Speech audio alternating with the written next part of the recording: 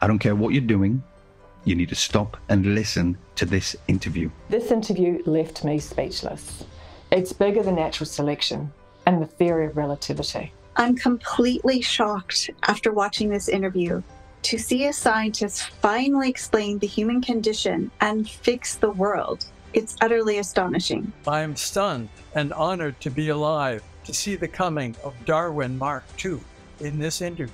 I believe this is the most sensational information to ever appear on planet Earth. So, you just need to listen to this.